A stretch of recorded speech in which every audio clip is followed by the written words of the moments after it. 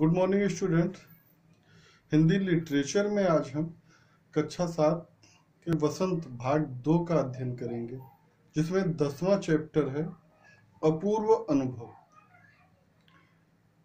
इसकी लेखिका है तेत्सुको कुरियानगी। तेत्सुको कुरियानगी। इसका हिंदी अनुवाद किया है याज्ञी कुशवाहा ने।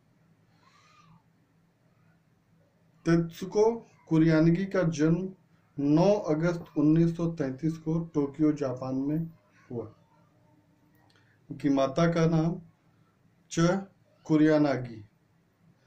पिता का नाम मोरित्सुना कुरोय नागी। इनका मुख्य व्यवसाय अभिनेत्री, आवाज़ अभिनेत्री के रूप में रहा है। अपूर्व अनुभव। इसमें लेखिका ने दो दोस्तों की कहानी के बारे में वर्णन किया है, जिसमें एक जो है पोलियो से ग्रसित है और वो जो है किसी ऊँची जगह या चलने फिरने में असमर्थ है। लेकिन उसके दूसरे दोस्त ने उसे अपने पेड़ पे चढ़ाने के लिए अथक प्रयास किया।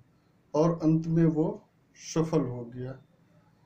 इन्हीं के ऊपर ये कहानी निर्भर है।